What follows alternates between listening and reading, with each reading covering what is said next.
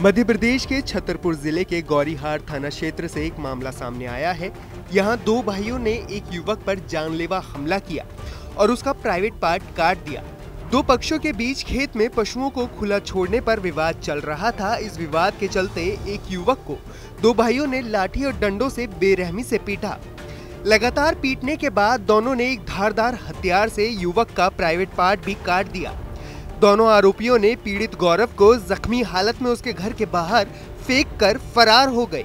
घर वालों के बाहर आकर देखने पर गौरव को आनंद फानन में अस्पताल ले जाया गया। वहाँ डॉक्टर ने उसे दूसरे अस्पताल रेफर कर दिया। तो वहीं इस मामले की जानकारी मिलते ही पुलिस ने दोनों आरोपियों को गिरफ़्तार कर लिया। जो वहाँ पीड़ित पक्ष है, उसका कुछ लोगों से, गाँव के ही लोगों से विवाद चल रहा था। और उन्होंने उसके जेनाइटल पार्ट पे अटैक करके उसको वहाँ से अलग किया। और ट्रीटमेंट के लिए उसको पहले हॉस्पिटल ले गया फिर वहाँ से रेफ़र कर दिया। अभी लखनऊ में उसका ट्रीटमेंट चल रहा है।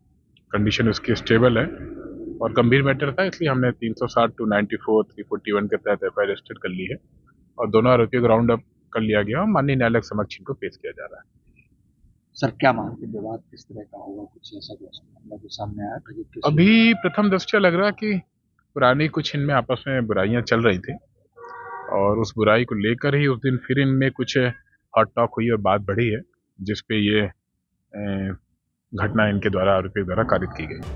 पीड़ित परिवार का कहना है कि पड़ोसी कमलेश और राजू सिंह के साथ पिछले पाँच महीनों से पशुओं को खेत में घुसने को लेकर विवाद चल रहा था। उनका और कमलेश का खेत अगल बगल में है। दूसरे पक्ष के लोग उनके गाँव में आए दिन अपने पशुओं को खुला छोड़ देते हैं। इसी वजह से कई बार झगड़ा भी हो चुका है तो वहीं इस मामले में पुलिस ने शिकायत दर्ज कर ली है और जाँच में जुट चुकी है।